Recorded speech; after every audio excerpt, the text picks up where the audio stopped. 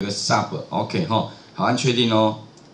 好，再来的话呢，工作表，哎，第一个对哈，一月点一下，二，Ctrl Shift 向右，向下，选起来对不对？Ctrl C，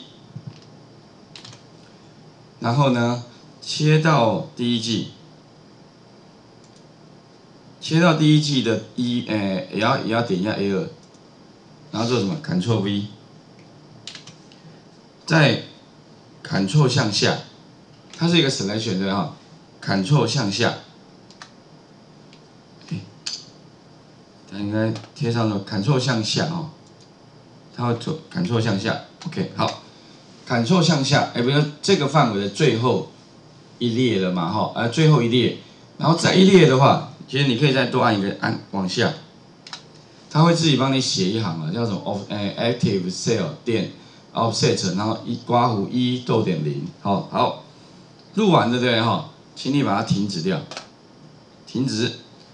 这个时候呢，你怎么看你的剧集？旁边有个剧集对不对？或者到 Visual Basic 都可以了哈。不过嗯，这边好像比较快一点。按编辑，它会跳到 Visual 贝或者是说你从这边 Visual Basic 模组 Module 也是一样。这个方法跟我们之前一样啊，就是。打开模啊，它会这个模组是录制剧集的时候，它会自动帮你产生的。这个工作表整合也是自己帮你产生的，根据什么？根据你录制剧集的时候的名称一样。当然你录制剧集的时候如果没有修改这个名称的话，之后再来改可不可以？哎，当然也可以啊，没有问题。好，那这个 sub 也可以对应到将来一个按钮，对吧？这个将来按下去也可以自动帮你做完那些事情，比如说哈。诶，我我们做完的啊，什么事都没没改啊。你可以可不可以变成说，这边加一个按钮？假设你刚刚做的事情，其实哦，你这边再加一个按钮，这个按钮的话就是工作表整合。其他做完之后的话就会 work 了哈，所以反正你什么都不改，都没有改对不对哈？那把第一第一季的东西先清掉一下，这边哈刚刚刚贴的东西先清掉。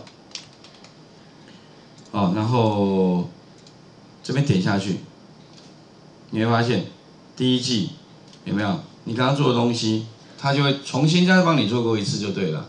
好，那只是说这个动作呢，只有一月份，但是我要二月、三月、四月怎么办？好，那这这部分的话就要修改了。好，也就是你在这个地方的话呢，哈，诶，就必须把它再切到 V，诶，这个 Visual Basic 里面的模组这一个对。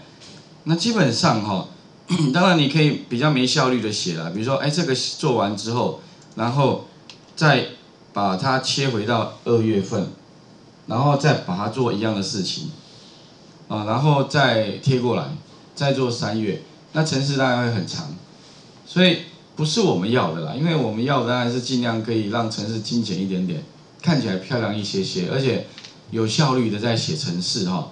那这个地方该怎么做？我想各位先试试看。那做完之后哈，当然你会发现哦，你它里面都没有注解。那在云端上面的话哈，我是有加上这个注解，有没有？一做什么？啊，没有。以下为录制剧集。所以你做完之后哈，其实你可以比对一下两边的话，当然哈，这边看起来会比较清爽，也比较看得懂。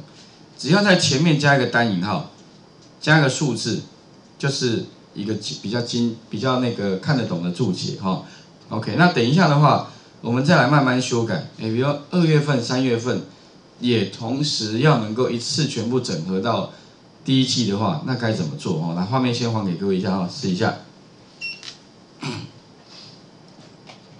那其实录制剧集哈，这个功能还蛮好用的。将来如果很多城市你不会写没关系，你先录制一下，然后再来看一下大概怎么写，好，然后可以拿来做参考了。有些不会写的哦，其实也可以用录的，哎，也可以产生。所以很多人哦，不会写东西怎么办？录录下来之后拿来先来用。